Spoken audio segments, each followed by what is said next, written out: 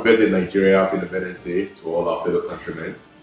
Uh, we continue to build this beautiful country that we call ours, the biggest black nation on earth, the most uh, largest GDP in Africa.